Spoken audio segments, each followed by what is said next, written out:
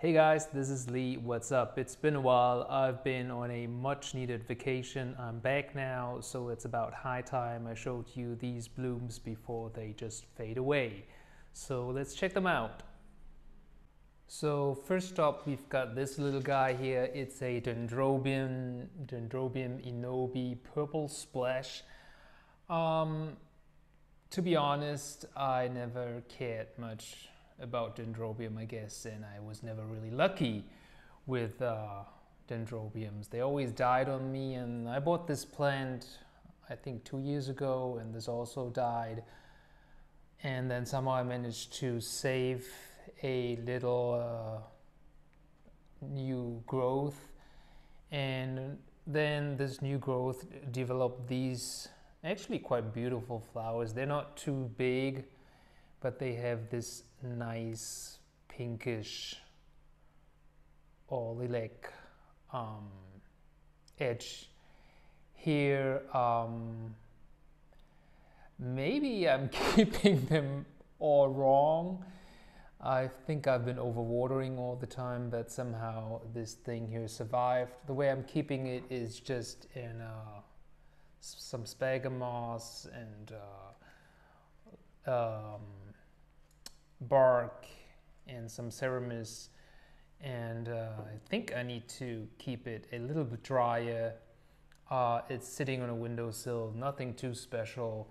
You can see it's almost, uh, the bloom is on the, its way out. But uh, all in all, it's a cute little pretty orchid. Not much fragrance, actually no fragrance at all. Then the next guy is that Colmanara hybrid I got two years ago, something like that, two or three years ago, I don't recall. And uh, last year it gave me a very, very, very nice uh, bloom with a very, very long um, flower spike.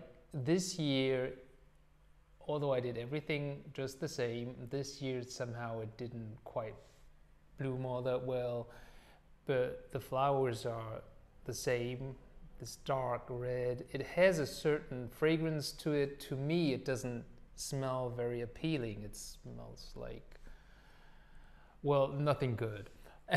And um, the way i'm keeping it is uh, quite simple. It's in a self-watering pot. It's um, sphagnum moss and uh, some bark some Seramis that's all there is to it. Um, I'll just top up some water, uh, reverse osmosis water, and um, yeah, uh, I fertilize with about 50 ppm. Don't know if that's enough, but that's what my Miltoniopsises get, and I'm too lazy to uh, make up an extra solution. Um, it's too dry. I haven't watered it for quite a while, but this plant is very forgiving the pseudobulbs will shrink um, as you can see here. If it's too dry um, but they will plumb up immediately if you give them water. So um, that's fine. Let's check out the roots. Yeah it's not looking too bad. They're white. I haven't been watering for quite a while. It's all dry up on the top. Um, but I think it's okay. And um, yeah, it's actually a nice plant, but just the fragrance is um, not to my nose. Let's put it that way. Some people say it smells good. For me, it smells like bad teeth. so next one up is one of our all-time favorites, the Miltoniopsis.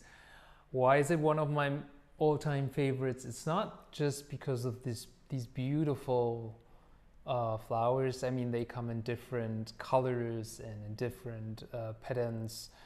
Um, but it's the fragrance. If you guys could smell this right now, I don't know how to describe it. It's very strong fragrance. If you sit too close, your eyes will burn. um, but it's a very strong, rosy, citrusy fragrance. This is actually um, one of my first fragrant, I think it's the, the first fragrant orchid that I bought. I just passed by in a garden center and I didn't even see the flower or the plant. I just passed by and noticed a beautiful fragrance and um, then I saw this and then I remembered a video by Miss Orchid Girl about Miltoniopsis. I'm like, oh, this has got to be a Miltoniopsis and I bought it right away. I messed it up. Um, but I got this one as a, a gift from my friend Andre, and uh, it finally bloomed. It took quite a while until it, this one bloomed. I don't know why and it finally bloomed this year. Actually, I broke off, I snapped off a flower spike, otherwise, it would have been three flower spikes. It is so beautiful. Um, the fragrance is really, really something I would recommend. Um, it's worth um, having a Miltoniopsis in your home, although they're considered to be quite finicky. In fact, um, right now I have a problem with my Miltoniopsis because I have kept too many too close and they acquired some kind of pests.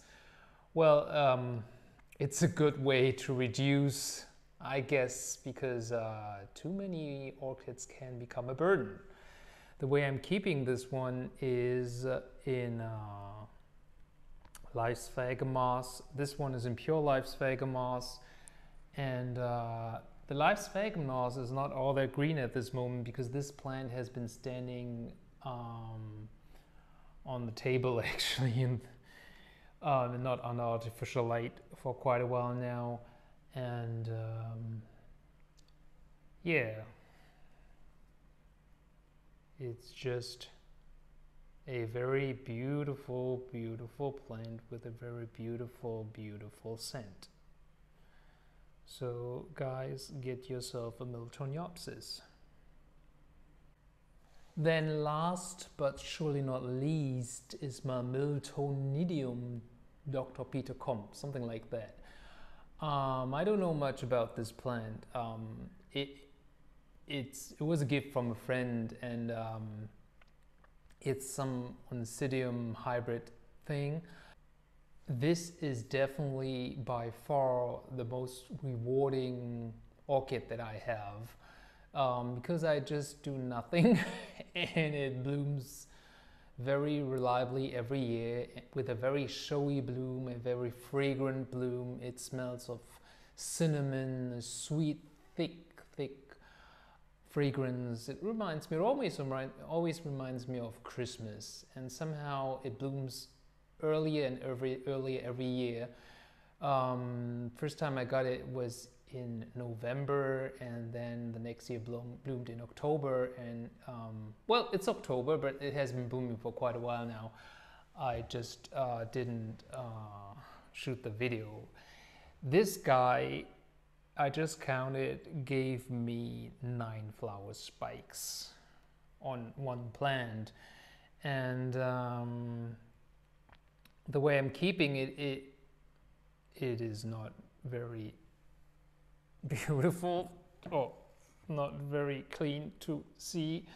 Um, it's just in reverse osmosis water with like 50 ppm of fertilizer and it just sits on a windowsill. That's all it does. And um, I actually removed some older pseudobulb last year because as always the new growth are growing too high and I have the new, they have a problem with getting their roots down into um, the water um, but uh, it uh, didn't have a problem after I uh, removed the older pseudobulbs and it just kept on growing look at these roots unfortunately there were some roots that went up, but there are enough roots that are down there in the water. So just look at these flowers.